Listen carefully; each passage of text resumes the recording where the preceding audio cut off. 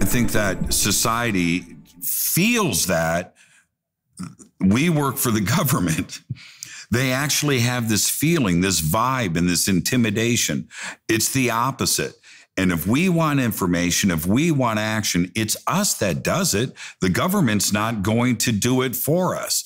To expect disclosure to come from the government for whatever reason, it'll never happen.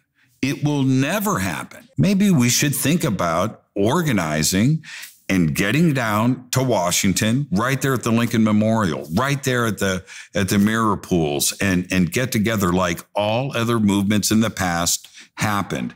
And that's the media is going to be there. They they're they're interested in this.